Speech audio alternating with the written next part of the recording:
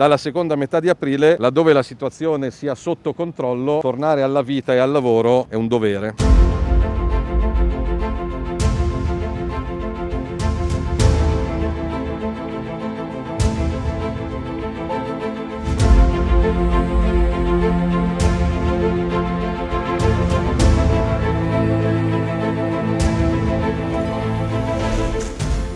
Devo dire finalmente, mi sembra che alla riunione di oggi abbia prevalso il diffuso buonsenso, penso che sia il giusto riconoscimento alla pazienza, al sacrificio, alla dignità, alla generosità, al rispetto e all'educazione del popolo italiano, con i responsabili della comunità scientifica al tavolo a certificare che all'aperto